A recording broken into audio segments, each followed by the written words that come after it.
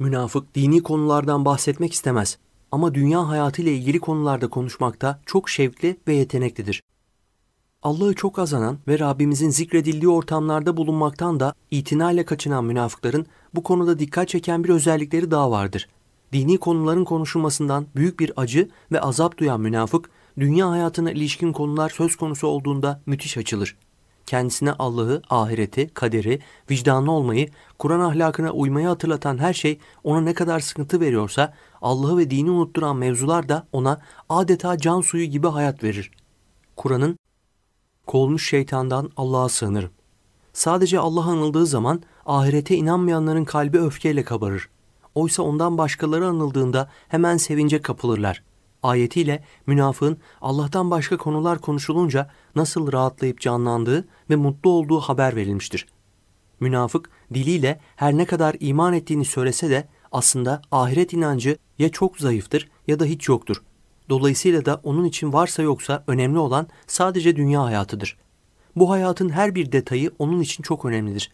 Dünyanın önde gelen ülkeleri, en sükseli şehirleri, büyük bölgelerin insanları, dünya çapında en itibarlı olan yabancı diller, bu ülkelerin siyasetçileri, sanatçıları, yazar kadrosu, onların savundukları fikirler münafık için son derece önemlidir. Bu bölgelere gidemese, bu insanlarla tanışamasa bile bunların her biri hakkında bilgi sahibi olmak bile onu çok heyecanlandırır. Çünkü münafık tüm bunları kendi geleceğinin bir parçası olarak görür.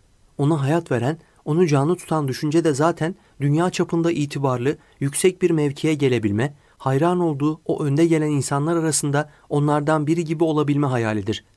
Bu nedenle de bu konular mevzu bahis olduğunda münafığın dili alabildiğini açılır. Allah'ı anmak söz konusu olduğunda hiçbir cümle dahi konuşmayan, bir nimetle karşılaştığında ya da bir sıkıntıdan kurtulduğunda şükretmeyi bile bilmeyen münafık, geleceği olarak gördüğü dünya hayatından konu açılınca saatlerce hiç susmadan konuşur. Neşesi, sevinci bir anda yerine gelir. En lüzumsuz ve gereksiz detayları bile saatlerce anlatır. Ve münafık bu konularda öğrendiği dünyevi bilgileri hafızasında tutmada, bunları ilgi çekici hale getirip anlatma konusunda da oldukça yeteneklidir.'' Allah Kur'an'da münafık karakterli bu insanların bu özelliğini ayetlerde şöyle haber vermiştir. Kovulmuş şeytandan Allah'a sığınırım. Sen onları gördüğün zaman cüsseli yapıları beğenini kazanmaktadır. Konuştukları zaman da onları dinlersin. Oysa sanki onlar sütun gibi dayandırılmış ahşap kütük gibidirler. Bu dayanıksızlıklarından dolayı da her çareyi kendi aleyhlerinde sanırlar. Onlar düşmandırlar. Bu yüzden onlardan kaçınıp sakının. Allah onları kahretsin. Nasıl da çevriliyorlar. Münafıkun suresi 4 İnsanlardan öylesi vardır ki dünya hayatına ilişkin sözleri senin hoşuna gider ve kalbindekine rağmen Allah'ı şahit getirir. Oysa o azılı bir düşmandır. Bakara suresi 204 Allah konuştukları zamanda onları dinlersin sözleriyle münafıkların din dışı konuşmalardaki şeytani yeteneklerini haber vermiştir. Diğer ayette ise Rabbimiz dünya hayatına ilişkin sözleri senin hoşuna gider şeklinde bildirmiştir. Demek ki münafık dünya hayatının süksesine, çıkar ve menfaatlerine yönelik konular söz konusu olduğunda çok akıcı ve ilgi çekici şekilde konuşabilmektedir. Din ile ilgili sözler ise münafığın ilgi duyduğu ve zevk aldığı konular değildir. Ama sanattan, resimden, heykelden, her türlü zenginlikten, paradan, modadan, kıyafetlerden, süslenmekten, saç bakımından, spordan, evlerden, arabalardan, yiyeceklerden, içeceklerden saatlerce zevkle bahsederler televizyondaki bir program, gazetelerde gündem olan bir dedikodu, sosyal medyada insanların kimleri takip ettiği gibi konularda müthiş açılırlar. Elbette bunlardan bahsetmesinde bir yanlışlık yoktur. Dikkat çekici olan tüm bunlarda gösterdiği şevk ve yeteneği dini konularda kaybetmesidir. Ve ayette hoşuna gider sözüyle bildirildiği gibi münafıklar iman gözüyle Müslüman ahlakıyla bakmayan insanların da ilgisini çekebilecek bir üslup kullanabilirler. Bu konuda yeteneklidirler tüm bu konular hakkında en detaylı bilgileri bile hafızalarında tutabilme konusunda da yeteneklidirler. Boş konulardan konuşmak söz konusu olduğunda ufukları da alabildiğine geniş olur. Ancak Allah ayetin devamında münafıkların sütun gibi dayandırılmış ahşap kütük gibi olduklarını bildirmiştir. Dolayısıyla bu hiçbir işe yaramayan içi kof, boş bir yetenektir ve ne kendilerine ne başkasına bir fayda getirmez. Çoğu zaman gevezelik olarak nitelendirilecek tarzda boş konuşmalar yapmaktan öteye gidemezler bu lafazanlıklarıyla ne kendileri ne de bir başkası için bir hayra vesile olmazlar. bu bilgileri hikmetli bir şekilde iyi bir amaç için kullanamazlar.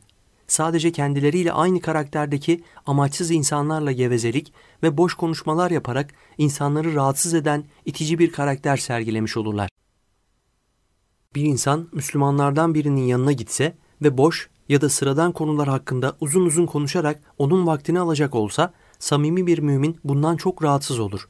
Aynı şekilde bu insan sırf denemek için münafık karakterli birinin yanına gidip de Allah'ı içten ve samimi bir üslupla ansa münafık da bu durumdan büyük bir acı çeker. Bu onun en tahammül edemediği, en acı çektiği konudur. Allah'tan, dinden bahsedildiğinde rengi solar, morali bozulur, neşesi kaçar. Kur'an'ın kovulmuş şeytandan Allah'a sığınırım. Sanki onlar ürkmüş yaban eşekleri gibidirler.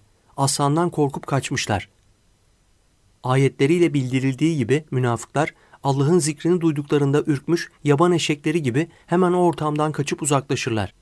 Ama eğer bir münafığa din dışında dünyevi çıkarlarına ilişkin bir konu açacak olunsa ne kadar neşelenip açıldığı ve canlandığı da açıkça görülür.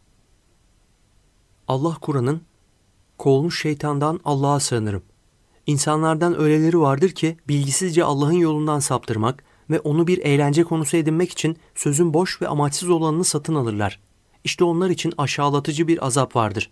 Ayetiyle münafıkların bu boş ve amaçsız konuşmalarından hedeflerinin Müslümanları Kur'an ahlakını yaşamaktan alıkoymak olduğunu bildirmiştir. Münafık, Müslümanların vakitlerini alarak onları boş sözlerle lafa tutarak yapacakları hayırlı faaliyetleri engellemek ister. Aynı zamanda da Müslümanlar arasında eğer kendileri gibi zayıf imanlı ya da münafık karakterli insanlar varsa bu yolla onların akıllarını çelebilmeyi ve onları da samimi bir mümin olmaktan uzaklaştırabilmeyi hedeflerler.